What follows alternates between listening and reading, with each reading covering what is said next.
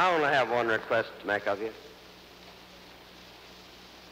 Vote on election day. Vote for yourselves. You don't have to vote for me. Vote in your own interest. And when you do that, you can only vote one way. Vote for the welfare of the country, vote for the welfare of the world, and vote for your own welfare by voting the Democratic ticket straight on November the 2nd. On November 4th, re elect President Carter, the Democrat.